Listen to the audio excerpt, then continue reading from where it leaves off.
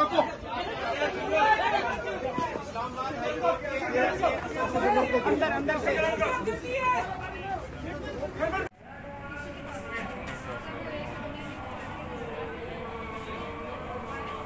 dot com B H P इनका कौन सा है? एयर ड्रॉप हो। एक मिनट है। इसी बढ़ा लो पहले फिर। हेलो यार एक मिनट है।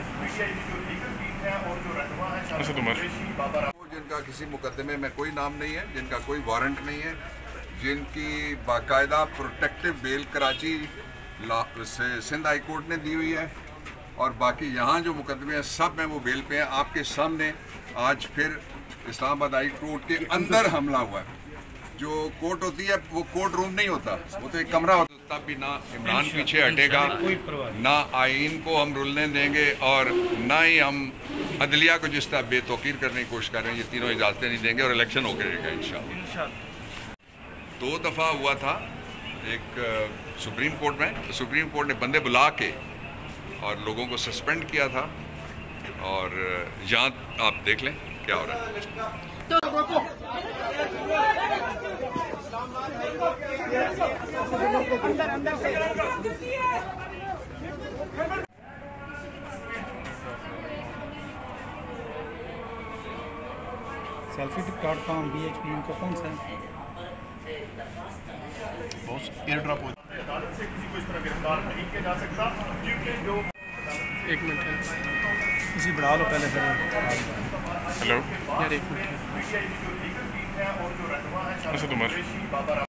उमर बिस्मिल्लाहिर्रहमानिर्रहीम दोस्तों, मैं हूँ इदरीस आला मेरा यूट्यूब फेसबुक पेज देख रहे हैं। बड़ी गिरफ्तारी डाल दी गई। इमरान खान साहब के बाद जो है तहरीक इंसाफ के एक और बड़े रहनमा की गिरफ्तारी डाल दी गई है। पुलिस ने असद उमर साहब को सेक्रेटरी जनरल तहरीक इंसाफ को बाकायदा तौर पे हिरासत में ले लिया है।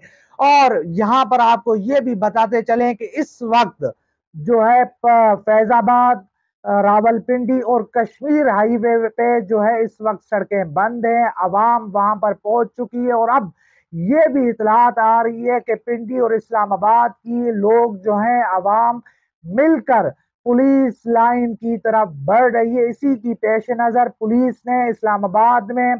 दफ़ा 144 के साथ साथ जो है रेड अलर्ट भी जारी कर दिया है। अब तमाम जो है हसास जगहों पर पुलिस एहलकार अलर्ट होंगे असलहे के साथ।